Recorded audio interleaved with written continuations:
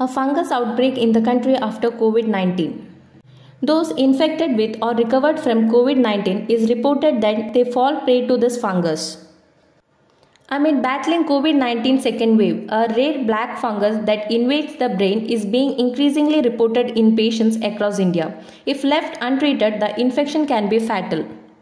What is black fungus? It is mucormycosis spores or a family of fungus are found in soil, air or even in food, but they are of low virulence and usually do not cause infection. Let's see what are the symptoms of black fungus or mucormycosis. Pain or redness around eyes or nose, fever, headache, coughing, shortness of breath, bloody vomits, altered mental status. If you found any of the above symptoms, immediately consult a doctor to avoid worse situation. As mentioned before, black fungus are of low virulence and usually do not cause infection. Due to low immunity of COVID patients gives the fungus an opportunity to grow. So, certain group of people are at high risk of this black fungus. They are with uncontrolled diabetes.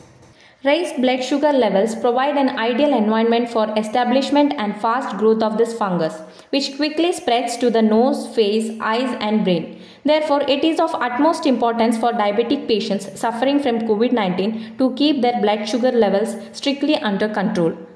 Next is HIV or cancer patients, patients with organ transplantation, patients who underwent long-term corticosteroid treatment and prolonged ICU stay. These group of people are very much prone to fungal infection. Certain precautions are taken to avoid this parallel fungal pandemic.